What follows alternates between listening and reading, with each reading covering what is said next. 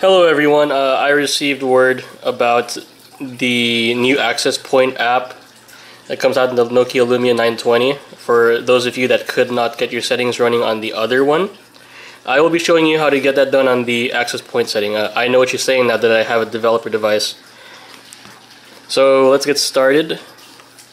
I'm gonna go back out. So we're at the home screen. Scroll here, go to your settings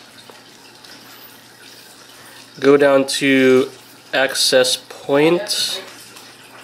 See mobile network um, there it is. Set up internet MMS and internet sharing. So here you see I added a new access point and just called straight talk. Most of you will have one that says AT&T out of the box. So hold that down for a couple of seconds. You're gonna see this. You could just go to edit and you're going to see you're able to edit your settings now.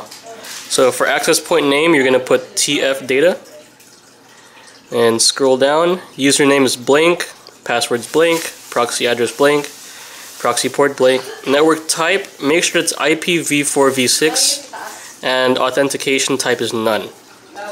Okay? And now we can minimize that internet APN. Now let's go to MMS. So for MMS, MMS access point name is TF data. Username is blank, password's blank. Proxy address 66.209.11.33. Proxy port is 80. MMSC address is that's http mmsc.cingular.com. Network type IPv4v6 and authentication type is none once again. Um, these are the settings I played around with and they work for me for you guys, I I would hope they work. But other than that, just let me know if you have any questions and I'll be glad to help you. Thanks for watching.